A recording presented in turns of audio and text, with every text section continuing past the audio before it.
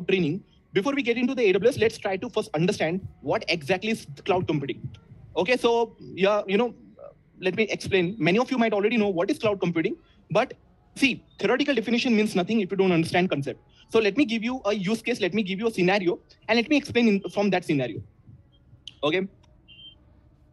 So let me put it here. First of all, let's try to, let me give a scenario. Let's, uh, currently I'm in India right now. Okay, currently I'm in India. Now I'm working from here.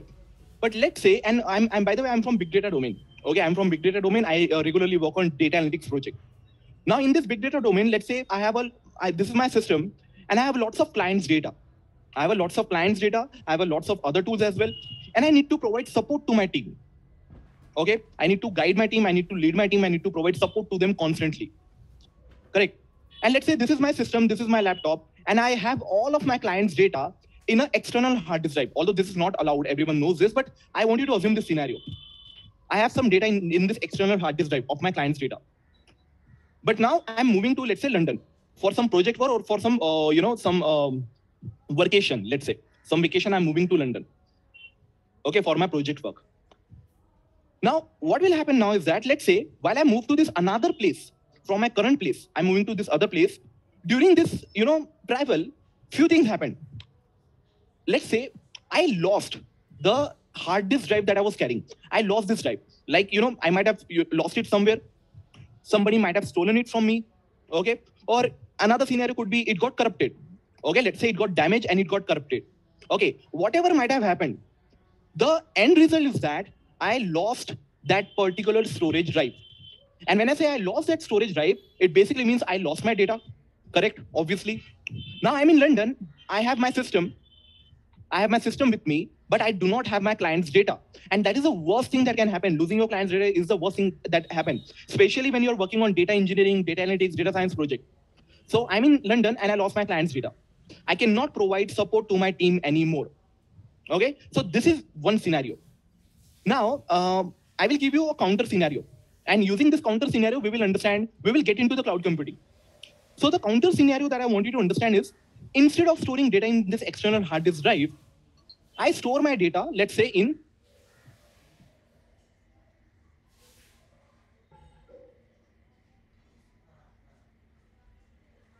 in Google Drive. Okay, what is Google Drive? Google Drive, can I say it's a cloud storage solution? Yes, it's a cloud storage solution. Okay, I store my data in a Google Drive. And now when I move to the London, can I say all these three reasons that I put here, stolen, corrupted, lost, can I say all three of them are not valid anymore? You guys can understand, nobody can steal Google Drive, my Google Drive storage from me. It cannot get corrupted. I cannot lose it. I cannot forget it back at my home, right? So if I'm here in London, can I say it doesn't matter what time it is or what location, forget about London. As long as I'm in, in a place where I have access to internet, can I say I will always be, uh, I will always have this data? Yes, we, we will have this data. Okay, so what I want you to understand, this is cloud computing. Not exactly development cloud computing, but this is the use case of cloud computing. This is cloud computing. Now, what makes this cloud computing? Right? What makes this as a cloud computing? The thing that is making it as a cloud computing is that when I'm in London, how can I access this drive? How can I access this data? To access this data, I simply need to go to drive.google.com. And to go to this address, all I need is internet. Okay, you must have heard about this. See, whenever you read a definition on any particular topic, on any technical concept, try to dissect that definition. Try to get into each and every word of that definition. Whenever you might have read about what is cloud computing, you always heard about like it is something which is always accessible over internet. Now you understand why it is accessible over internet.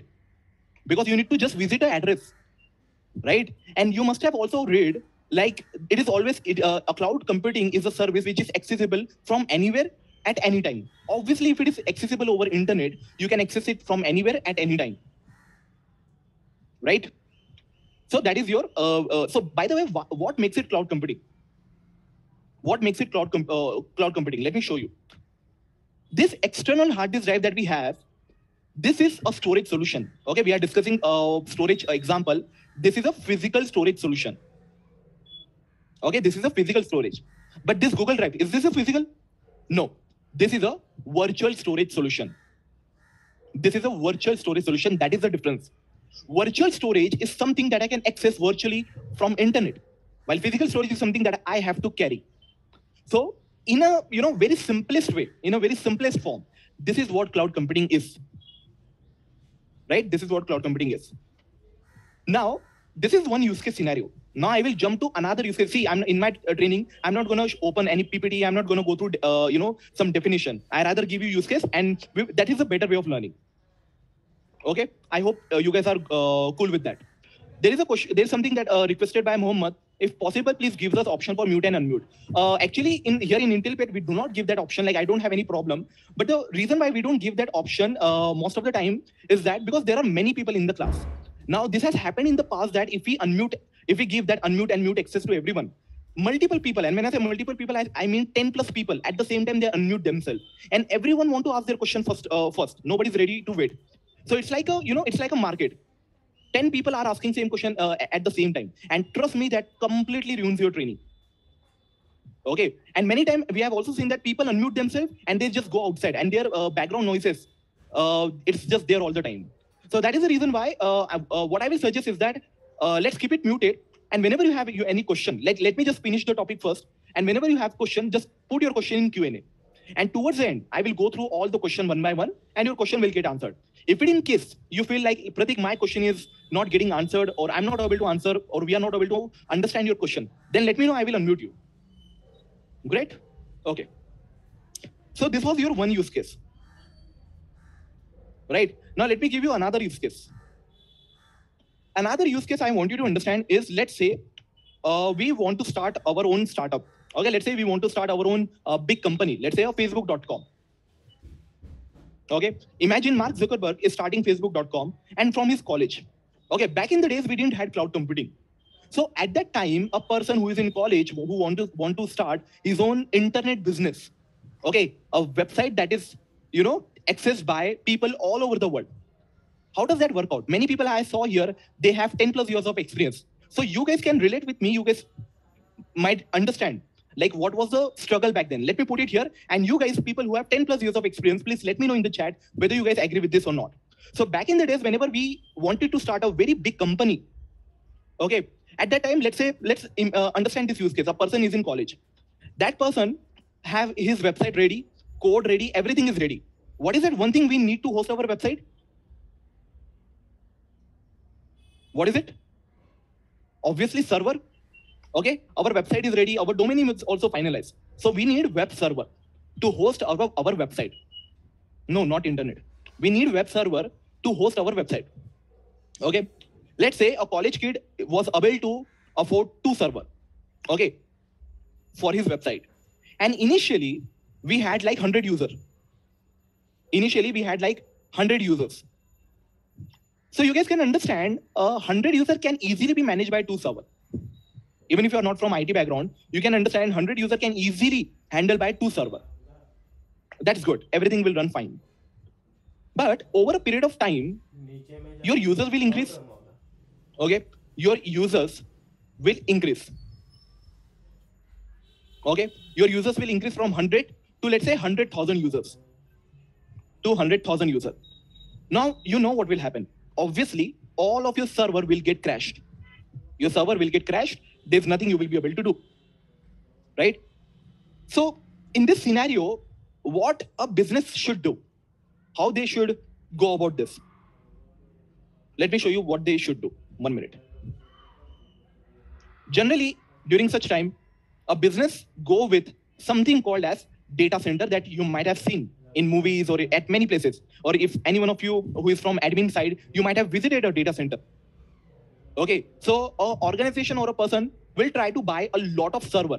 Okay, so this is data center. What is a data center? It is a collection of, it is a place where you store hundred thousands of server. So can I say if I have a data center, then I don't need to worry about so many users, right? If I have a data center instead of two server, so many server can easily be handled by my, by my data center, right? Okay, that's a good solution.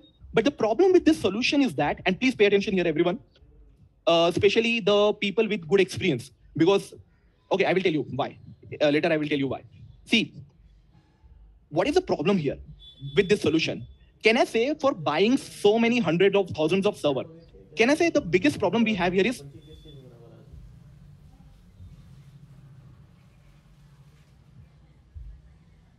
okay? Can i say a huge capital expenditure is a big problem? What is going right? It's a huge cost to the business. Now any now think about from a startup point of view because i have worked with some startup as well. Uh, i know people who are who have their own uh, business startup uh, sorry uh, it startup. And i'm telling you from their point of view what are the problems they face so huge capital expenditure is one of the biggest problem. Second thing, this itself is a very, very huge cost. But if you look at this data center, what is another cost that comes, your, comes to your mind? Don't you think you need a real estate to store so many server? You actually need a place to store all of the server. And that itself is a very huge cost. You need to actually have a place where you will be, you, like the, the companies have buildings where they have their data center. Okay, so this is a, this itself is a very big cost. You actually need a place to store all of that data, uh, to store all of the server. After this, you might have guessed. After this, the another cost that you can think of, you have so many server, you need to provide them constant electricity. When you have so many server, you need to constantly provide them a cooling system. Otherwise, all of the server will get overheated. You might have a fire risk. So, you know, their maintenance cost, the electricity cost, the cooling system cost, cost, so many upgradation cost, so many overhead cost. So can I say after real estate, operation cost is a very huge thing. Operation or you can say maintenance cost is a very huge thing. Right? Now, even if you go through these three, uh, you know, disadvantage, these three points, can I say you are already, you know, one minute. Guys, is my voice breaking? Is it for everyone or is it for only Vignesh or Ahmed? Okay, thank you. Okay. All right. So see, here, these are the, these three reasons are enough. My mic is already uh, close to my mouth. From your side, good. So it's, I think, good from a headphone or something like that. Okay. Okay, so moving forward, forward these three reasons are enough to demotivate you from starting your own business. Right? Now, let me tell you one more thing. The fourth uh, thing is the time is a very big issue. Okay? Back in the days, it used to take nearly 8 to 12 months to call the vendor, to order the servers, so the, all of the server will get delivered at your place, then setting up the server, then having your admin team install everything on that server, and making your server uh, live and ready it's a huge, uh, you know, uh, time requirement. Okay, so by the time when you, uh, you know, have your server and everything is ready, some some big some big organization might steal your idea, right? So time is a very big issue. And one more issue that we have here is, and this is probably probably one of the worst problem that you can have. That is scalability. Let me tell you what do I mean by scalability. Now, everyone, uh, please pay attention here if my 100 if suddenly i got i was expecting 100 user but my service became very popular overnight and i suddenly got 100000 user. So my two server of course they will crash. So how many of okay obviously everyone knows if they will crash so now we will have downtime. Okay we will have downtime. And let me tell you in a business in an it business or any business you can say when you have a downtime in your it service when you have a downtime in your it service that downtime is directly proportional to the loss in revenue. It is loss to the business. Ask any person who is in management. Having a downtime in business is a, uh, having a downtime in your IT infra is direct loss in revenue. Okay, and I'm pretty much sure many of you people who have 15 plus years of experience, you guys already know this. Okay, but let's just assume that we we also bought we already bought 10,000 server, and our server are always way too good enough for any traffic. Now my another scenario is what if it never grows. Or what if your all the number of user goes down back to 100 user? Now you have 10,000 server running and you have like only 100 user or 1000 user. Now, don't you think all those 10,000 server will be underutilized? Now, let me tell you second thing. When you have under underutilized resources in a project, and when I say resources, I do not mean people, I mean um, infrastructure. When you have underutilized infrastructure in your project, that leads to, you know, you know, uh, a lot of expense, a lot of unnecessary expense. Your project will not be cost effective at all. Okay. So now you have a different scenario, opposite scenario. You have very less user, but many servers are running and you're just wasting away your money. So this is the big issue. Okay. With your traditional technologies, with your traditional way where you buy a server, this is a very, very big issue. And this is what is scalability. Okay. Scalability is not there. So what we want is that if my user increases, my server should also increase. But here we know uh, setting all the server takes a lot of time. So that is not possible. And the next thing is that if my user decreases, if the demand decreases, I want my resource to be de to decrease as well.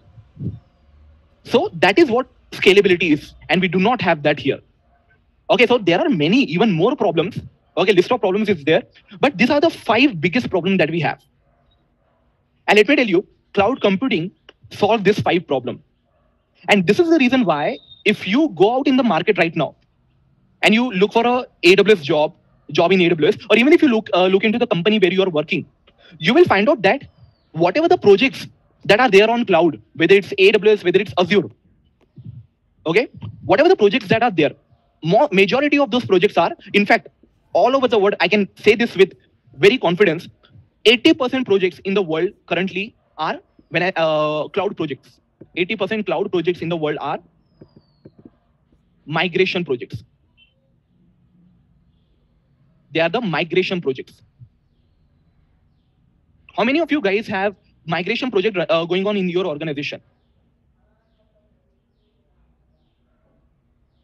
Obviously, I'm talking about experienced people.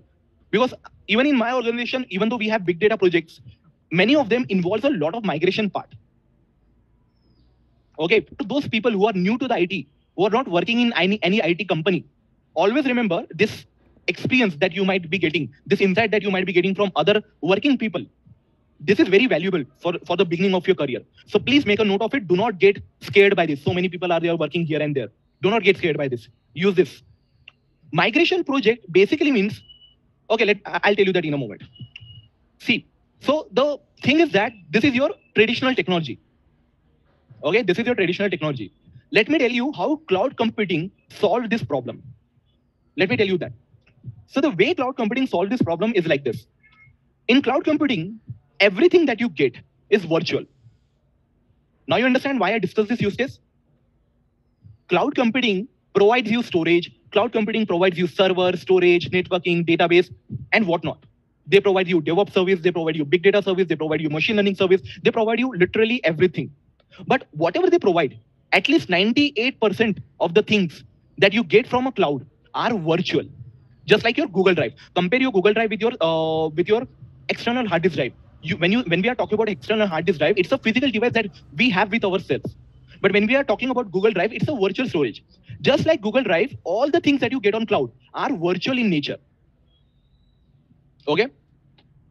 But the question is, you might be thinking, but Pratik, just because they are virtual in nature, how does that solve this problem? Okay, how does that it solve this problem? Let me tell you when let's let's take an example. Earlier we take the storage example. Now we will take some different example. Now we will take the example of server. So in AWS cloud, there is something called called as EC2. Now don't worry about what is the full form of EC2. What is EC2? Don't worry about that. Just try to understand. Just uh, know this fact. There is something called as EC2 that gives you server. Just like there is something called as Google Drive that gives you storage. Okay, there is something called as EC2 that gives you server. Okay, but the server that it gives to you, uh, guys, uh, see, I can see a lot of questions. Most of your question, my explanation, and if you feel like questions are coming in, it, it will the question. You won't be paying attention to what I'm saying. Okay, so please let me understand what I'm trying to say. Right? Otherwise, you yourself cannot do that. Okay. Yeah, I will. Okay, that gives gives you server. But we are talking about cloud. So EC2 will provide you server, but that will be a virtual server. Google Drive provide you storage, but that is virtual storage. Okay. So instead of buying a server from a vendor, physical server, these are your physical server.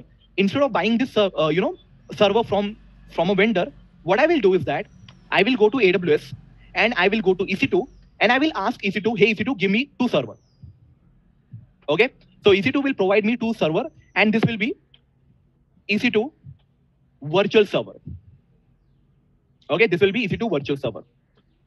Now, the question, why having a virtual server, like how having a virtual server solve this problem?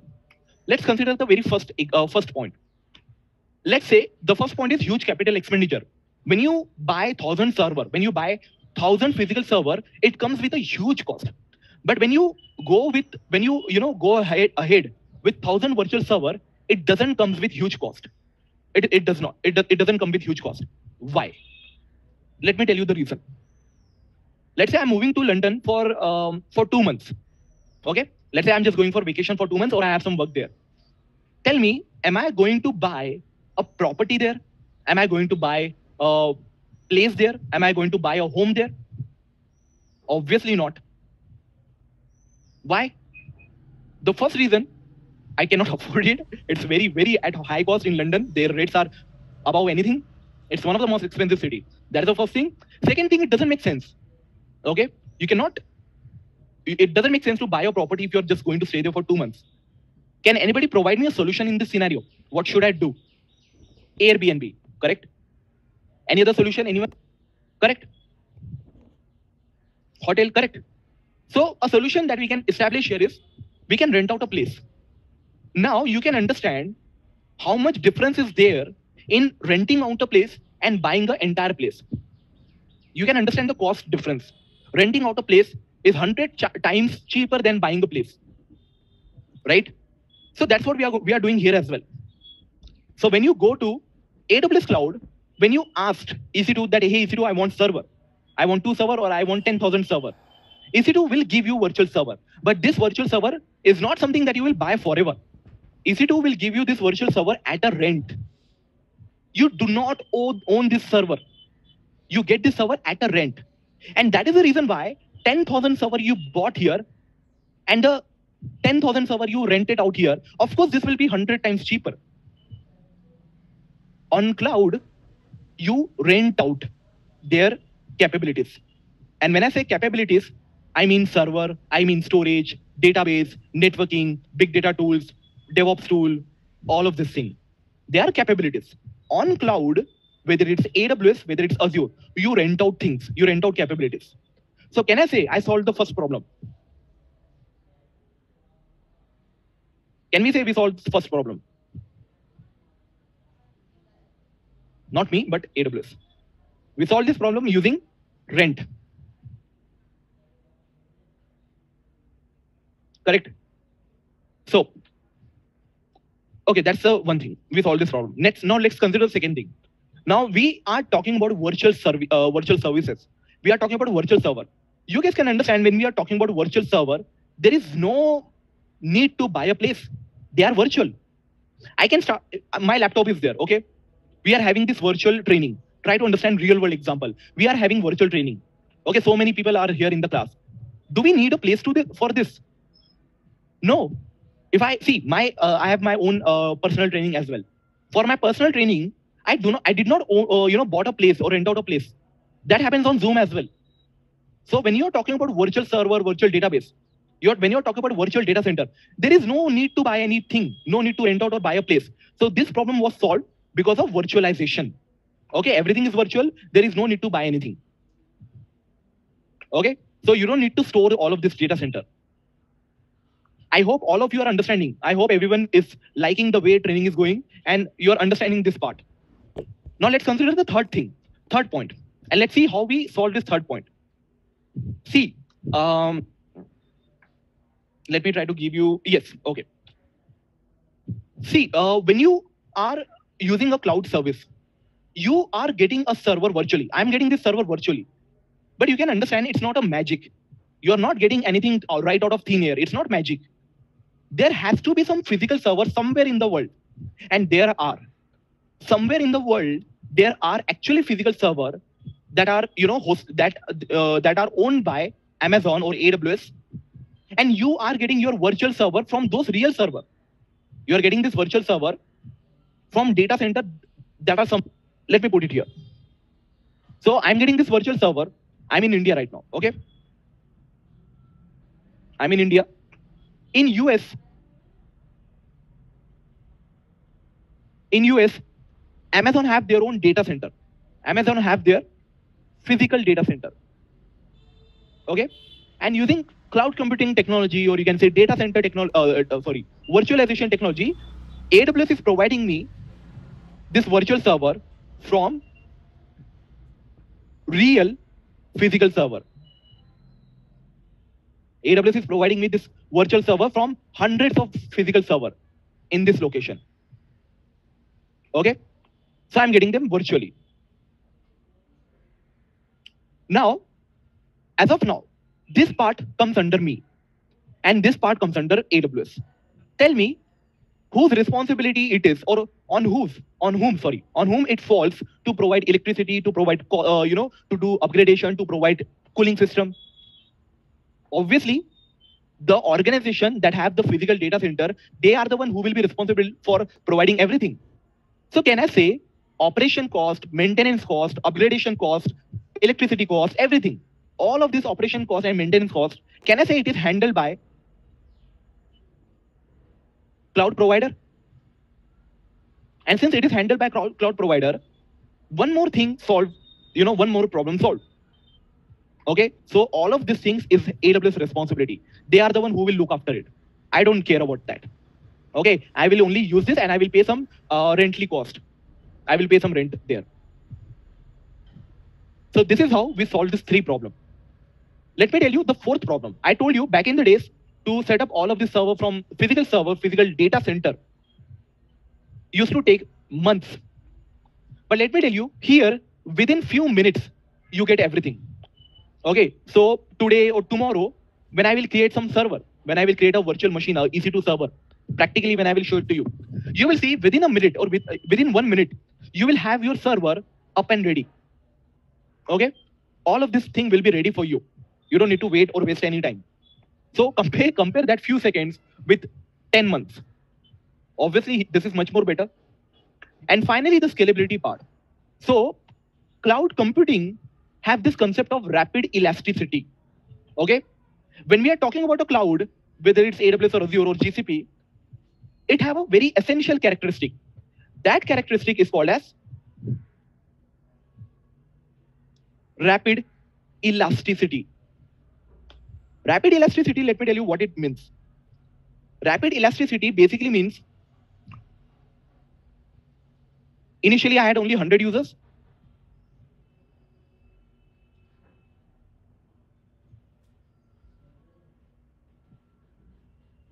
Initially, I had only 100 users.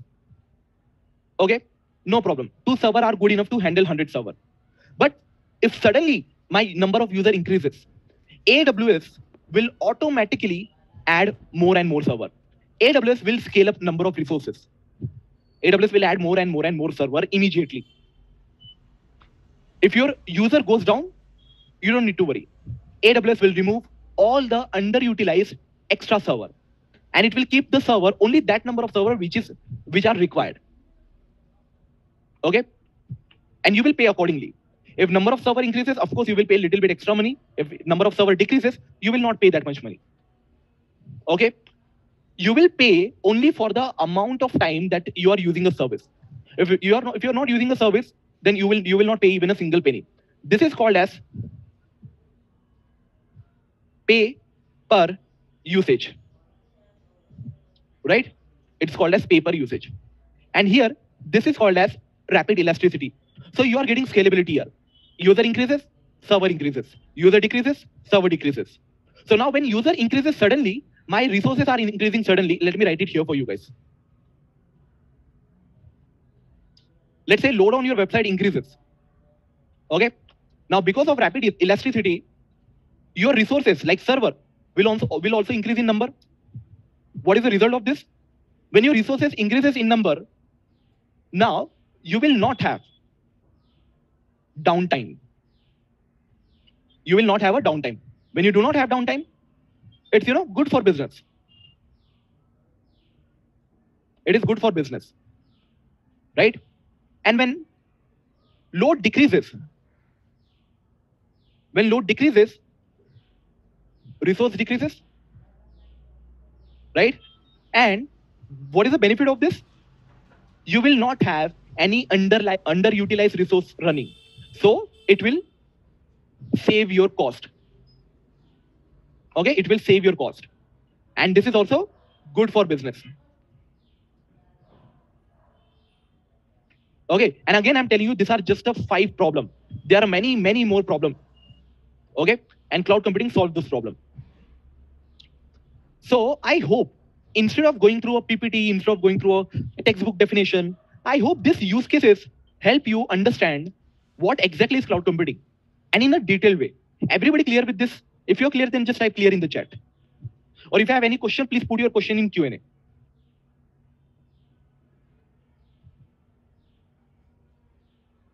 Okay, cool. So I hope those people who were earlier saying that they did not understood in some previous uh, introductory session, I hope you understood what is introduction to cloud computing. Now see, let me tell you one more thing here. You can understand, earlier I said, in the market, 80% projects are migration project. Or in 80%, there will be some part of migration. Why? Why is that? The reason why 80% projects are migration project is because the entire IT industry or every industry that have their product uh, online or on some application, they are moving to the cloud. What is migration? Migration basically means earlier my company, my application, my software, they were hosted on the local data center that my company bought. But we realized that this local data center is very expensive. And if you move to the cloud, you get so many benefits. You save so much money. When you move to the cloud, you save so much money. Since my business decided, uh, we realized that we can save so much money. And so to save that much money, we will move to the cloud. So earlier, whatever that was running in our local data center, in the data center that my company already bought, now we are moving all of those things to the AWS cloud. This is called as migration. You're doing migration from local to the cloud. Why? Because you, you can save so much money. Business can save so much money. I hope now you understood why so many migration projects projects are there. Okay, so now moving forward. So that was your uh, this thing, uh, intro to cloud computing. Now, uh, let me tell you, just give me one minute. Let me see what was the next topic. I just used PPT to see what was the next topic. Let's say, let me explain you one more thing here. You guys, whenever you, you know, tried studying about cloud, you might, you must have came across this topic.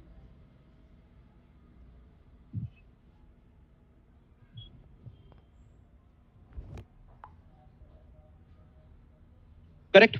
You must have came across this topic many times. Now let me explain you this topic in detail. Okay. So public cloud versus private cloud versus hybrid cloud. Let's try to understand what each one of them means.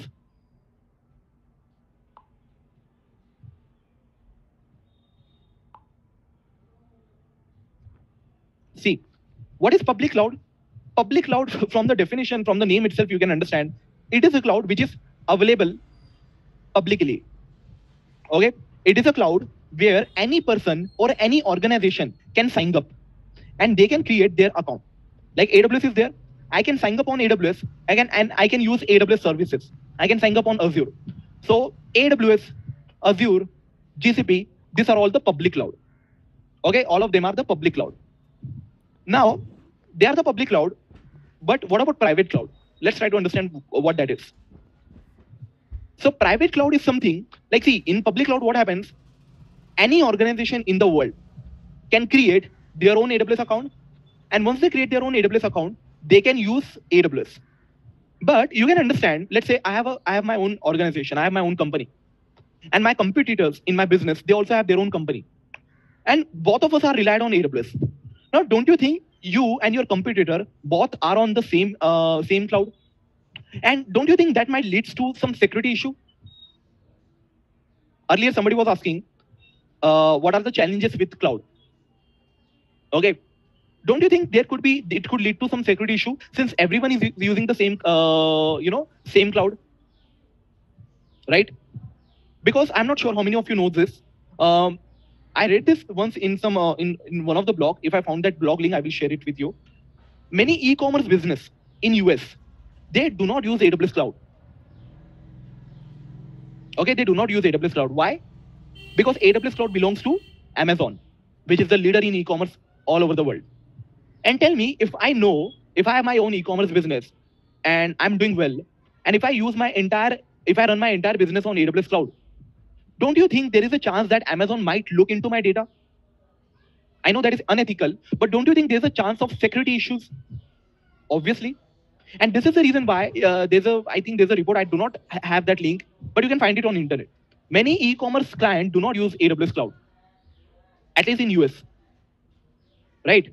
So such organization, what does what they do, or if you talk about, let's say, banking client, any of the banking client, generally banking client or finance uh, finance client, they do not move to AWS, uh, they do not move to the cloud. Why? Because their data is very, very confidential. Their, of course, their data is finance data. They do not want to upload their data on a public cloud. They do not want to take any risk. So what such organization does is that they have their own data center. Uh, they have, sorry, they have their own, uh, you know, cloud. They have their own private cloud. So this is how it looks like. I'm just giving you a pictorial way. So this is your, uh, you know, company, any of the company. And here you have AWS cloud. So multiple companies, try to understand this in pictorial way, okay? So pay attention everyone all of these companies are utilizing AWS Cloud. They are using AWS Cloud for their business. Correct? Now imagine the same scenario in private cloud. So this is your public cloud. Okay? In case of private cloud, let me show you what will happen. In case of private cloud, you are going to have every organization will have their own private cloud. Or in fact, it, it should look something like this, one minute. Okay, every organization will have their own private cloud in which they will operate. Okay, so this private cloud is available only to the employees of that organization. Every company will have their own private cloud. If some person outside of this organization, if they try to access this cloud, will it be available to them? No it is available only within the premise of this organization. It is available only within the within some network range. It is available only to the employees of this organization. Is it available to entire world? No. Can anyone like you and me, can we create our account in their in their cloud? No. Why? Because because it is private cloud. Private cloud is dedicated to a business or to a company. Okay private cloud is dedicated to a particular company. And that is the reason why it is very highly secure. Okay, public cloud is also very, very secure. Uh, but obviously, compared to your private clouds, it is always less secure compared to private cloud. Okay, so dedicated to business, high, high secure, highly secure. But a problem is there. Now, let's say this is my company and I want entire security. I, I, I cannot tolerate any security issues. So what I will do, I will set up the security for my, uh, I sorry, I will set up a cloud for my company. Now, when I'm doing that, everything is your responsibility. Okay? Everything is your responsibility. You have to create that on your own. You have to manage that cloud. You have to make sure that it is secure. See, just because you are creating a private cloud, it doesn't mean it is by default secure. You have to set up everything. You have to provide encryption. You have to provide network security. You have to provide firewall and so many other things. So everything is your responsibility. Here, is anything my responsibility? No. I can directly use the service. I don't care about anything. Rest of the thing is managed by AWS. But here, everything is your responsibility. And yes, here also you have some responsibility, but we will discuss that later. One more uh, thing here. Okay, let me ask you guys this. Can you guys suggest, can you guys think of any other point here where private cloud, oh, sorry, where public cloud is better than private cloud? Any point that you might have noticed? Look at this diagram.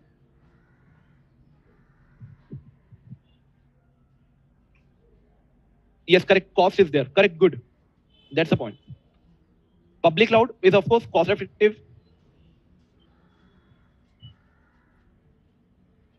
This is expensive. Correct. Very good. Manoj and Shivaji.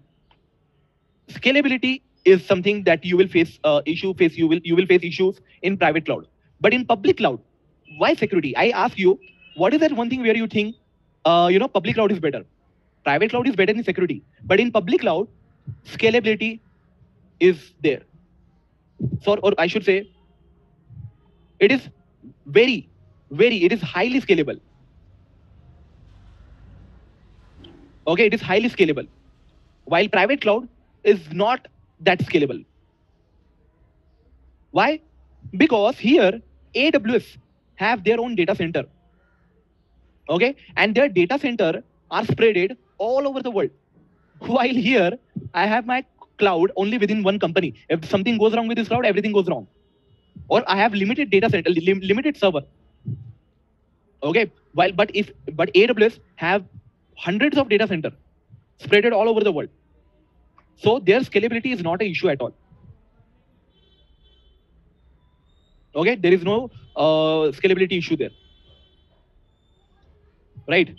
So these are some of the areas. I, I hope you understood what are the places where public cloud is better, what are the places your, where your uh, you know, uh, private cloud is better. I hope you're understanding what are the challenges with your public cloud. Right? So now let me tell you a few more things. So there is a hybrid cloud as well.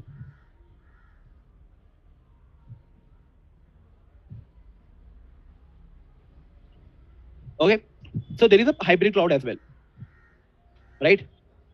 So the thing with the hybrid cloud is that, see, hybrid cloud basically means a combination of public cloud as well as private cloud.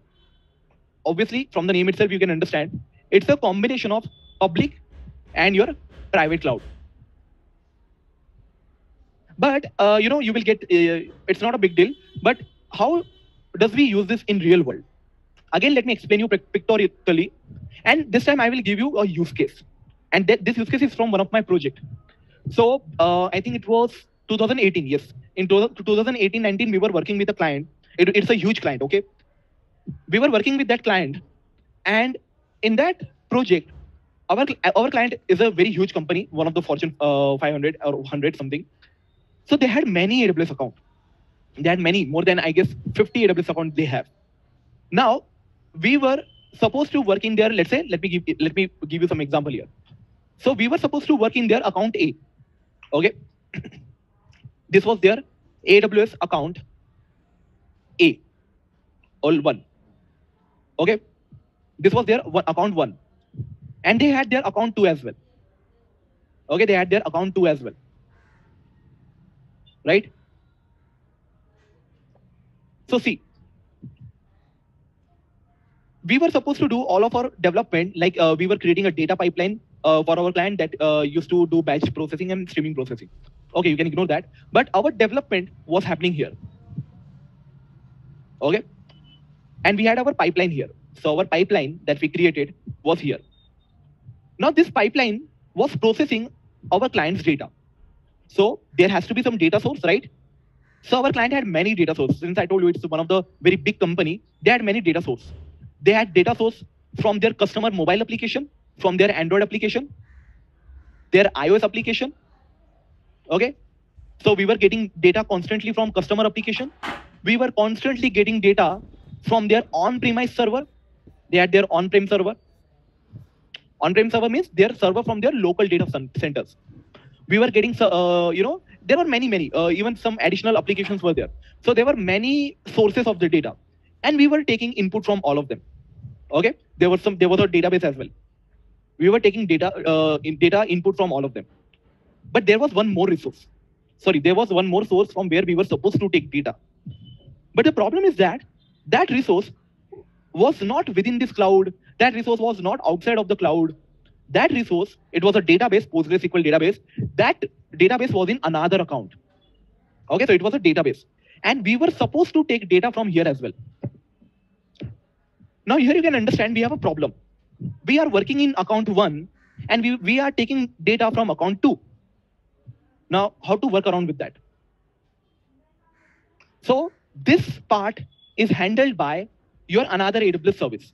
And we will discuss that.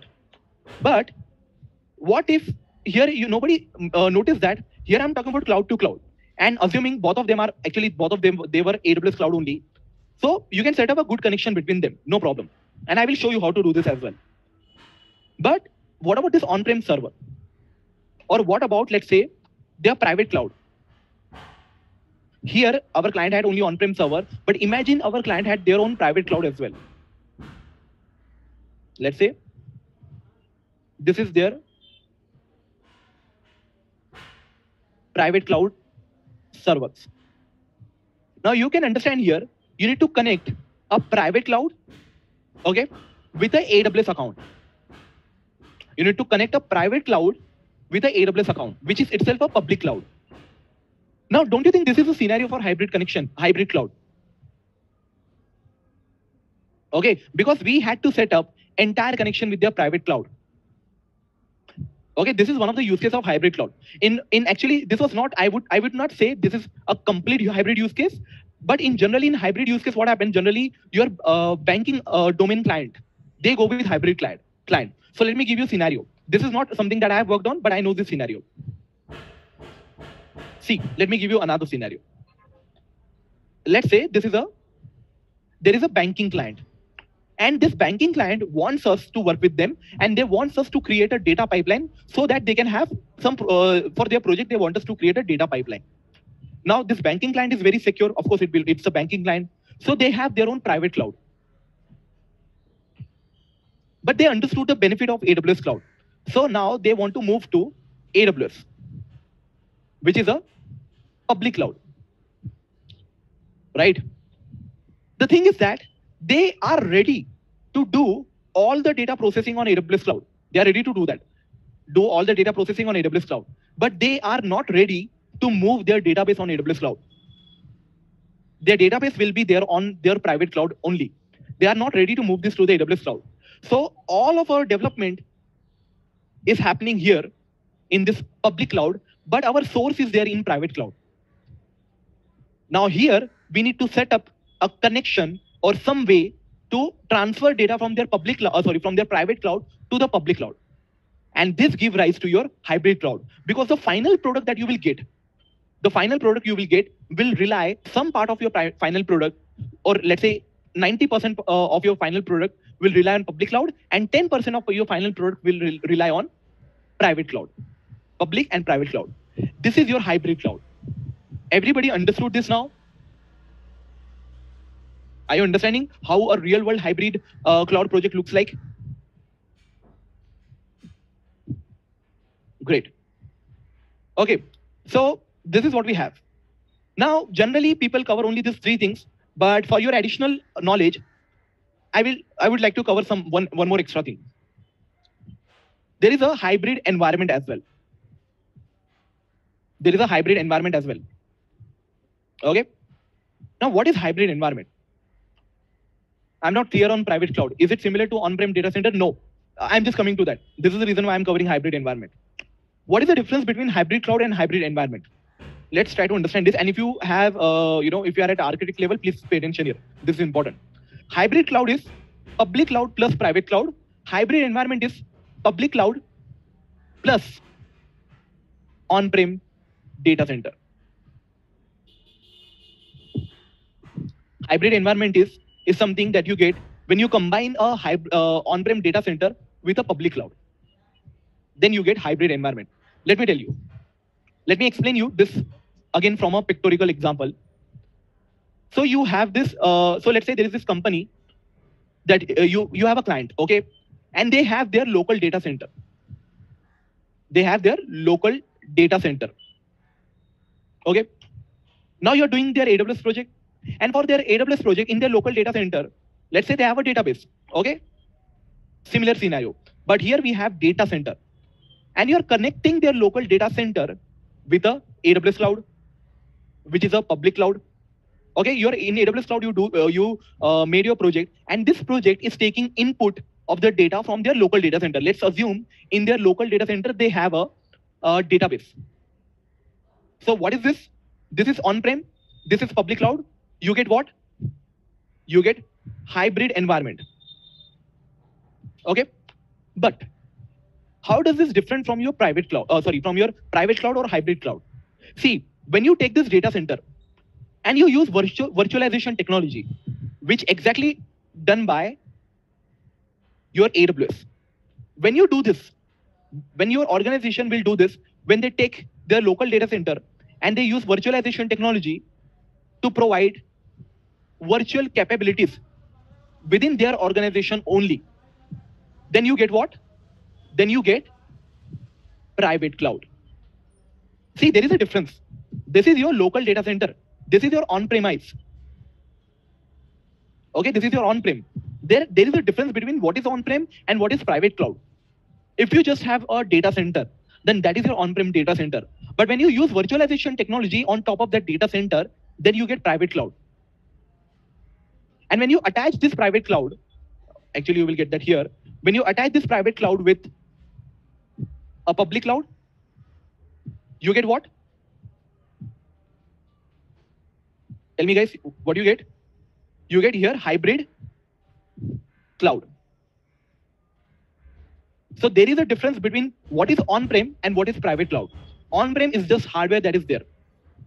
Okay. When you use virtualization technology to create virtual server out of it, then that is your uh, that is your then that becomes a cloud. And since this cloud is provided only for that organization, is it a public cloud or private cloud?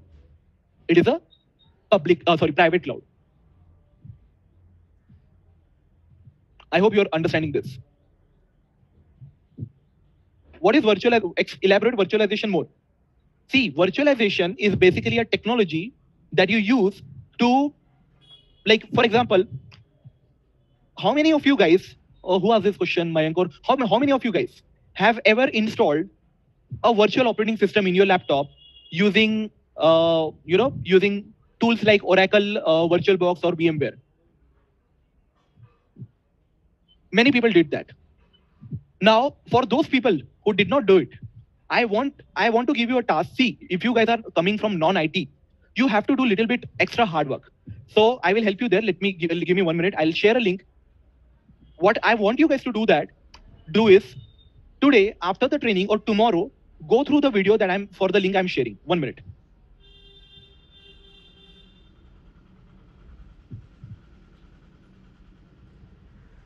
I'm sharing a video in the video link in the chat. Okay, let me do one thing. I will not share it right now. Otherwise, everyone will jump into that video. Remind me before the end of the session, or let me paste it here. Remind me before the end of the session. I will share this link in the chat.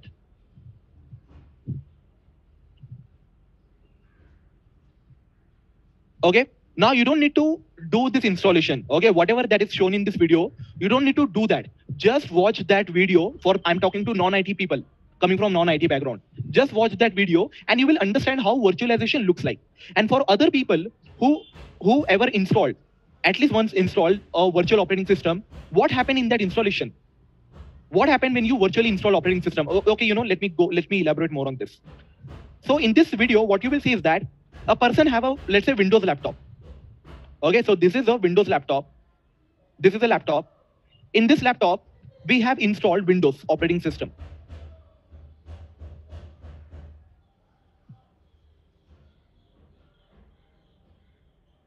Okay, so Windows operating system is in, installed there. Okay, now what happened is that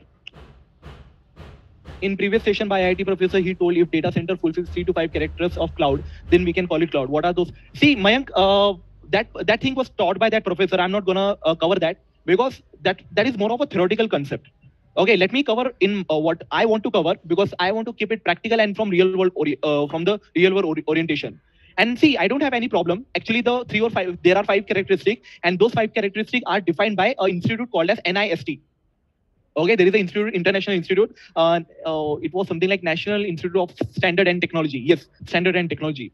It is defined by that institution. They have defined five characteristics and if a cloud provider satisfies those five characteristics, then only those cloud provider is categorized as a real cloud computing. Okay, let me tell you, in these two use cases that I have covered, in this one and these two use cases, you already understood those five characteristics. Trust me on that. I have my own AWS bootcamp where I teach people for around 60 plus hours. But here, and there I have included this thing because there I have time liberty. Here, uh, please try to understand this, everyone. Here, here when I'm teaching in Intellipaat, I have limited hours. I have 36 hours in which I have to cover a course content. So I cannot cover everything, but I will try my best. Like in every batch, I, I always cover some extra demo, extra concept. So I'm not gonna uh, going to cover theoretical concept, most of the theoretical concept, but you know I'll try my best to cover as many things as I can. Right? So now uh, let me tell you what where I was. Uh, yeah. So when you have this laptop,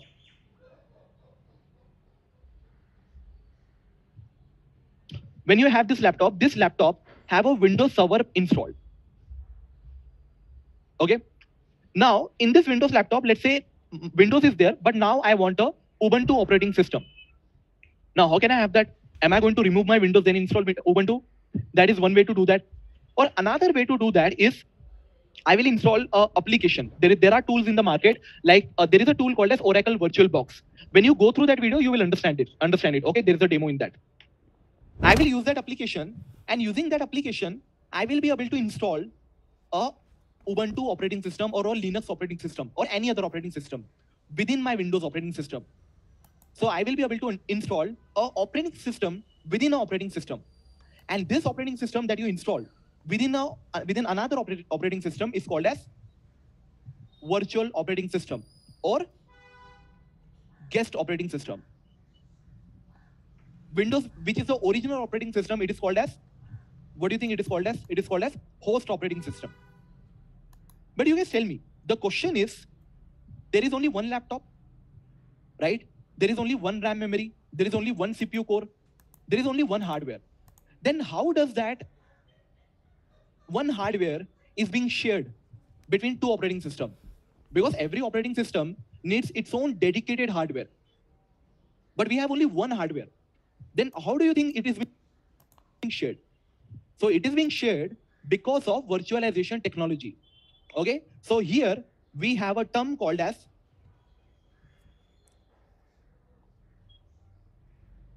here we have a term called as hypervisor. Hypervisor is a, you can say, it's a concept, it's a layer that makes your, like, let me put, go a little bit detail in here. So this is my original hardware. Okay?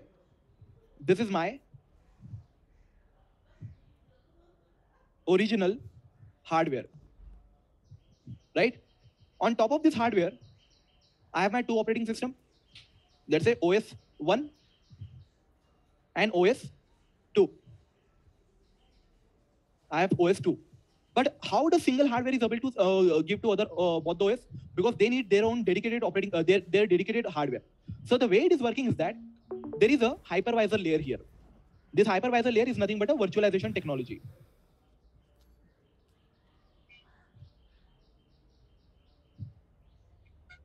This hypervisor layer will make your virtual hardware. So it goes like this. Now you have two set of virtual hardware. Just like we got virtual server. Here now we got virtual hardware. Okay?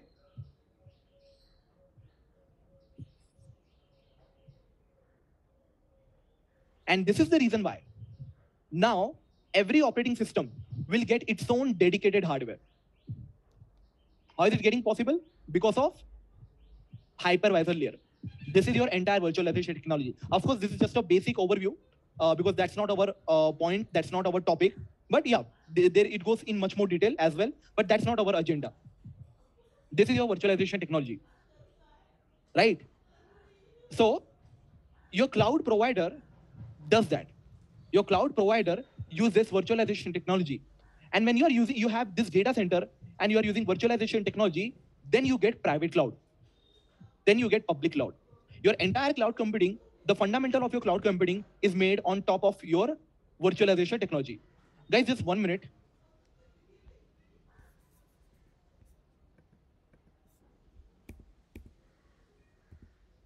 I muted myself. Okay, so uh, yeah. So that, that is what your virtualization is. And please, everyone, uh, especially experienced people, virtual cloud, uh, sorry, hybrid cloud and hybrid environment. I have seen multi- many people with good experience uh, in cloud.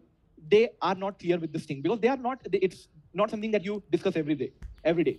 So many people are not clear on this. So please. So this is these are the different types of cloud you have. Now let me discuss one more thing. Service model. Okay. Have you guys heard about infrastructure as a service? Platform as a service?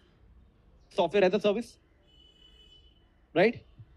Now, uh, you might have heard of read its theory, you might have somebody else might have covered it. Let me cover it with a SSE example. Okay, my SSE example that I want to cover here is, uh, let me tell you. Let's say uh, you want to, you know, go for some dinner. Okay, you have a date, you have a, you know, family dinner, whatever. You want to go for a dining. You want to have a good dinner. Now, you guys tell me, if I, I want to have a good dinner, if I cook everything, if this dinner is made at my home, okay, can I compare it with on-premise? Let me give you warning. This is my SSE example. If, if it is made at my home, can I say it is on-premise? If it is made at my home, can I say ingredient which, which was required to create, uh, so which was uh, required to uh, you know make the dinner, the utensils in which I cooked the dinner, the kitchen, the everything that was required. Can I say everything belonged to me because it was done at my home? Similarly, when a company buy their own local data center, when they have their own on-prem data center, everything belongs to them. Server, database, every everything belongs to them. Okay? Nothing belongs to cloud. Everything belongs to local. Right? But what is infrastructure as a service? Infrastructure as a service basically means you are relied for the infrastructure on some on the cloud provider. Let me explain from the dining example. Let's say um, I'm visiting Abhishek Kumar, and uh, he allowed me to, you know, I can. He allowed me that Pratik, you can cook whatever you want at my place. Okay, I can cook whatever I want at his place. It's just that he offered a condi- he uh, put a condition like Pratik, you have to bring your own ingredients. Otherwise, kitchen belongs to Abhishek, utensils belongs to Abhishek. I just need to bring my own ing- ingredients and I, I need to do the cooking. So can I say for the entire kitchen, utensils and everything, which can I compare this infrastructure with computer hardware like RAM, server, CPU? Can I say if I'm relying if I'm relying on this hardware for some other person, then that is an infrastructure as a service. That is an infrastructure as a service. Because when you go to the cloud, when you create server on this cloud, what is the server made up of? This server is made up of CPU, this server is made up of RAM, this server is made up of some networking uh, capabilities, it comes with some networking capabilities, it comes with some storage. What are these things? Aren't this hardware? They are nothing but hardware. And if I'm getting virtual hardware, so can I say I'm getting virtual infrastructure? So when you are getting this hardware, this infrastructure from cloud, when cloud is taking responsibility of hardware, then, then we can say it is infrastructure as a service. You are getting infrastructure, the hardware from the cloud itself. That is your infra infrastructure as a service. Okay. Then we have platform, platform as a service. What is platform as a service? Let me tell you. So we are going to get this server. But what server? Which server? Can I say I can get, if I want, I can get a Linux server? Can I say if I want, I can get a Windows server? I can get Red Hat server, I can get Ubuntu server, right? So let's say we are getting a Windows server. So do you guys agree with me when I uh, that when we are talking about Windows server, hardware is already uh, there, but this time, along with hardware, we also have a software that is operating system. Okay, we already have an operating system, right? Where by default you will get an infrastructure. Of course, how can you have a platform without infrastructure? But along with this infrastructure, you will get a platform with like a Linux operating system, Windows operating system, or let's say I'm, I'm creating a virtual database on AWS Cloud. right? Then I will get a MySQL database. If I'm just getting a database server, then that's a pure hardware. But if I'm getting MySQL database, then that's a hardware plus software, a platform of MySQL. From a dining example, you can say, Abhishek is also providing me, Pratik, you just need to come here. You are my maid. I'm, I, he hired me as a maid, and I just need to go to his place. and I need just, I need to cook. Okay, he's taking care of ingredient, he's taking care of utensil, and he hired me as a maid. My salary is not enough. My IT salary. Okay, so that is your platform as a service. And yeah, we, we people in IT, we have to evening, right? So software as a service basically means me and Abhishek, we are either going going to you know some hotel, and there we are going to have dinner, or we are going to use this application. Uh, what is the name of them? That uh, we are going to use this uh, application to order food. And when we order food or when we visit a restaurant, kitchen belongs to them, ingredients belong to them. They are the one who are doing the cooking. So that is software as a service. In context of cloud, when we are talking about Microsoft Word, Microsoft Word is something that you have to download, you have to install, then you can use it. But when we are using Google Docs, do we need to download, install them? No. Google Docs you can use directly. What is Google Docs? It's a software as a service. Google is providing you the entire software as a service. You just need to go, go to docs.google.com. So that is an example of software as a service. I hope you are understanding all of this thing. It might have been covered by a previous trainer, but I hope you are understanding my, you are liking this. It's 9.30, nine, one and a half an hour. You guys are waiting for, for the break. We'll go for a break now. After my work, I came out, came out with, okay, so these are, these are the examples that I've created throughout my career